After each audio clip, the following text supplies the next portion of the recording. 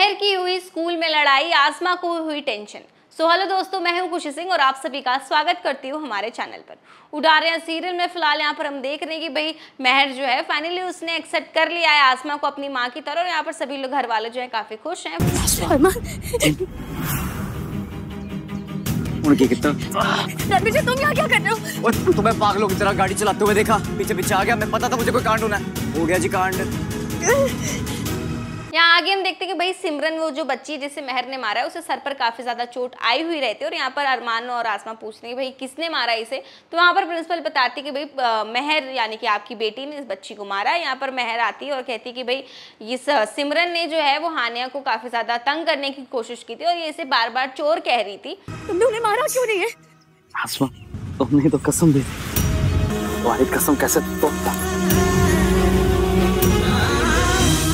मुझे फाइनली सारा परिवार एक हो चुका है। यहाँ पर मेहर आसमा हानिया और अरमान जो है सभी लोग एक हो चुके हैं। वहीं आगे आने वाले एपिसोड में यहाँ पर हम देखते हैं कि भाई मेहर की जो है वो स्कूल में लड़ाई हो जाती है। यहाँ पर मेहर जो है वो मारपीट करती है। मेहर के स्कूल से कॉल आता है और यहाँ पर उसे उन दोनों को पता चलता है कि भाई मेहर ने किसी बच्ची को मार दिया है इस रेस में हिस्सा लेना तुम्हें रेस की पड़ी है खुद की खुद की हालत देख रहे हो तुम। इतने कम टाइम में ना यही एक तरीका है इतने पैसे कमाने का चाहे कुछ भी हो जाए। मुझे ये रेस जीतनी है। इसलिए मैंने इसे मार दिया। यहाँ पर अरमान जो है भाई, यहाँ पर वो मेहर का सपोर्ट करते हुए दिखाई देगा। वो कहेगा कि तुमने बहुत सही किया, तुमने कुछ गलत तो नहीं किया, तुमने अपनी बहन का सपोर्ट लिया।